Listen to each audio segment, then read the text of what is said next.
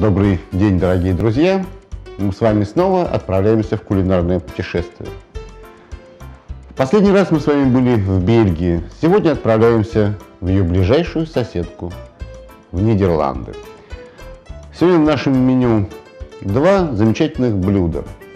Конечно, мы все знаем, что кухня нидерландская или голландская, как мы привыкли называть, не отличается особым разнообразием.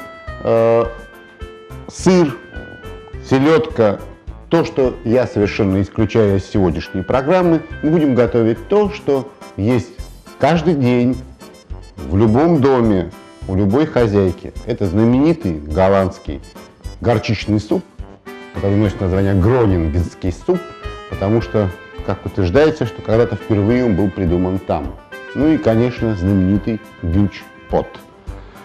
Это второе простое деревенское блюдо, связано с очень знаменитой легендой голландской истории. Вы все знаете, когда Голландия объявила войну за независимость, так называемая 80-летняя война, в 1574 году в мае месяце город Лейден взяли в осаду в плотное кольцо испанские войска под руководством кровавого герцога Альбы.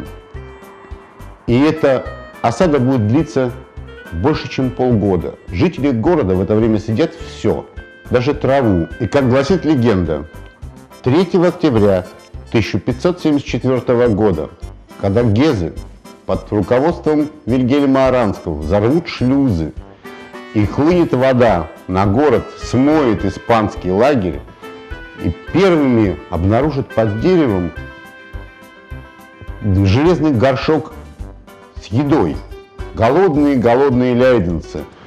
И вот этот гюч-пот, в нем будет морковь, мясо, лук и тогда пастернак, потому что тогда еще картошки не было. Его позже заменит на картофель.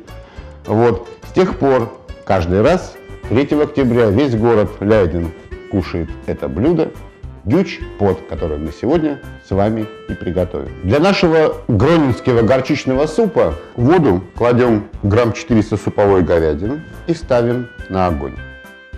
Пока готовится наш мясной бульон, приступим к приготовлению к знаменитого традиционного нидерландского блюда гюч под. Для этого нам нужно взять с вами 600-700 грамм свежей говядины, порезать ее крупными кусками, примерно 5 сантиметров на 3 чтобы мясо оставалось сочным, несмотря на то, что будет долго тушиться. В кипящий говяжий бульон мы добавим с вами большую морковь, стручковый сельдерей и репчатый лук. Поставим бульон готовиться. Закладываем в толстостенный казан или толстую кастрюлю, добавив немного оливкового масла, нашу с вами говядину.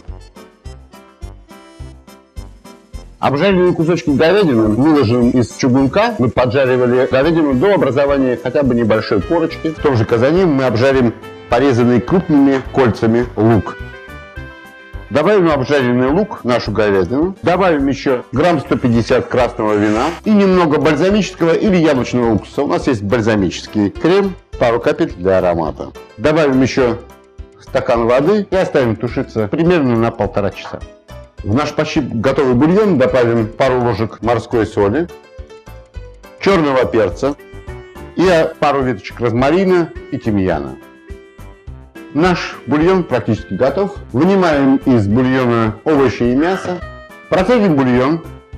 Бульон пока оставим в сторону, пусть он остынет. И займемся с вами приготовлением гарнира для гюч пота. 2 килограмма картофеля очищенного, килограмм моркови и килограмм лука-порея порезали для приготовления крупнозернистого пюре. Ставим наши овощи на огонь, доводим до кипения и минут 40 тушим их до готовности.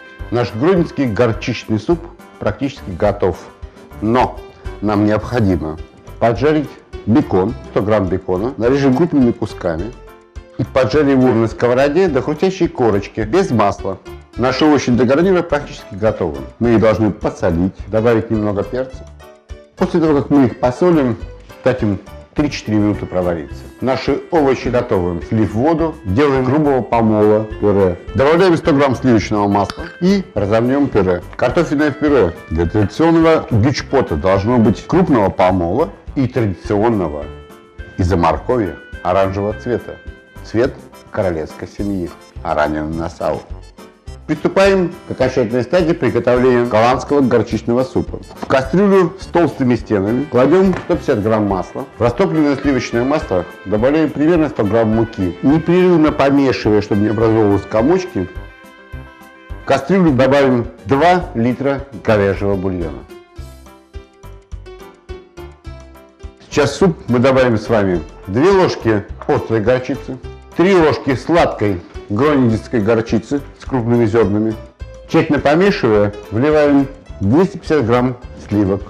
Горчичный суп готов. Готовый суп украшаем мелко порезанным луком порея и, конечно же, бекон. Лучшим дополнением к нашему гронингскому горчичному супу будет белый бакет, зажаренный в духовке. Почти готовое мясо добавим любых специй по вкусу. Перца, морской соли Наше мясо готово. Ну вот, дорогие друзья, мы с вами побывали в очередном кулинарном путешествии. И, как говорят голландцы, Айкс Майкелейк. Приятного аппетита!